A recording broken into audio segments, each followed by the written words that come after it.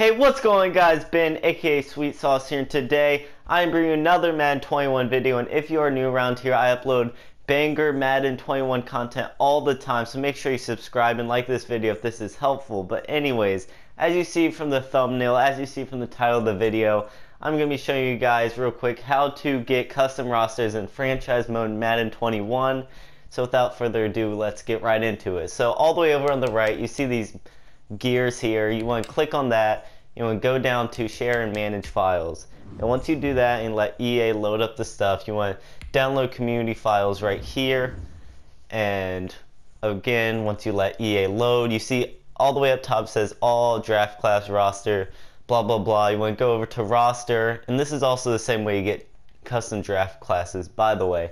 But anyways, here you go. You got all the rosters or all the most popular rosters. You can go all the way down if you want, but for the sake of the video, let's just use college football rosters so that you can see an actual difference between, you know, like Le'Veon Bell and the Chiefs. You actually see all these different players on all these different teams. But anyways, click on it, you let it load. And once it loads, you go back and you're not ready yet. You have to load and delete files. And once you do that, you can go over to roster and click the college football one and you just load it up. And then once it loads you can go back to the main menu exit out of all this stuff let EA do its little cutscene whatever you want to call this. And then you can go down over to franchise mode.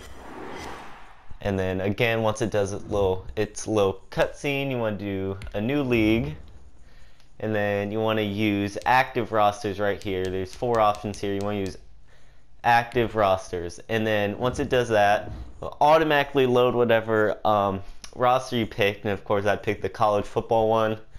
So once you want, let it load. Do do do do do.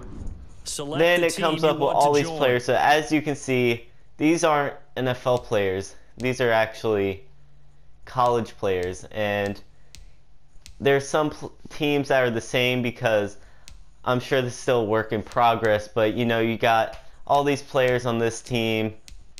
You can probably go through all these, see all the changes you want.